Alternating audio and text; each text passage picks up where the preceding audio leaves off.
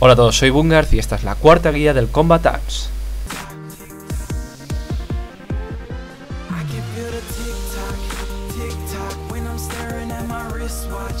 Eh, lo primero de todo vamos a explicar, este, este juego funciona por servidores.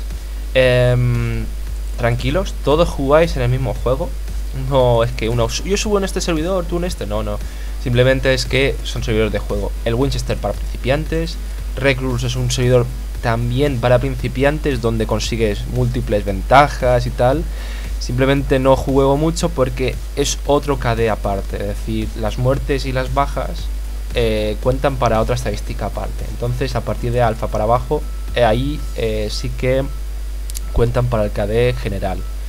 Menos claro en el Foxtrot que es para hacer partida Fireteam, que más adelante ya les explicaré.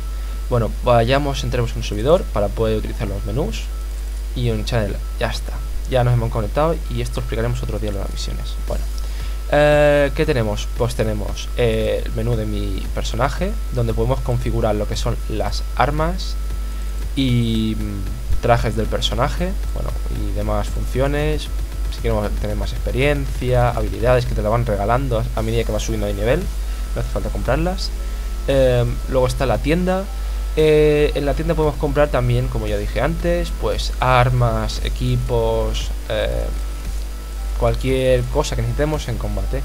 Hay dos formas de pago. Hay NX, que es el dinero de verdad que metéis vosotros, y yo ya he metido y soy un adicto sinceramente, digamos que 1000 NX equivalen a un euro.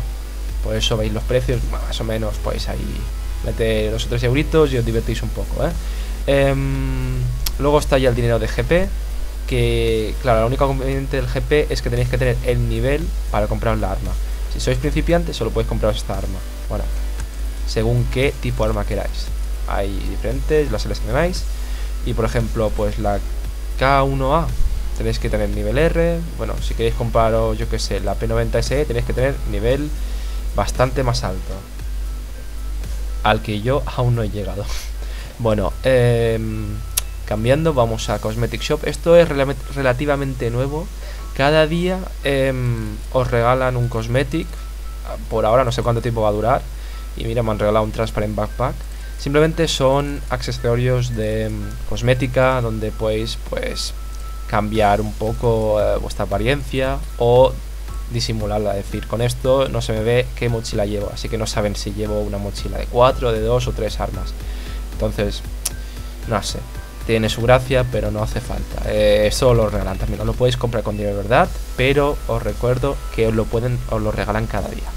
Em, vale, sigamos. Modification. Aquí donde podéis modificar vuestras armas. ¡Wow!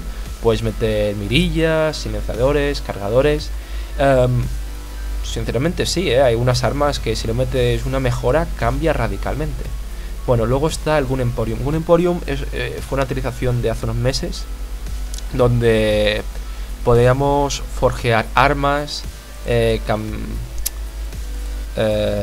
de una arma más unas réplicas podríamos crear otra y em, luego customizarlas también con unas cajas que teníamos. Entonces yo ya he customizado mi PP19 mod, que ya no, no se puede ver, pero bueno, ya la tengo en más más en velocidad de disparo. Y luego está el último menú, que es el más guapo de todos, que es el porque estamos muy viciosos a este juego, que es el menú de clan, donde puedes ver a tus miembros del clan y las estadísticas del clan. Bueno, y esto ha sido todo para nuestra cuarta guía de Combat Arms.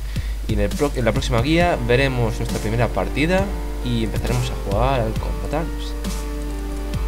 Hasta otra.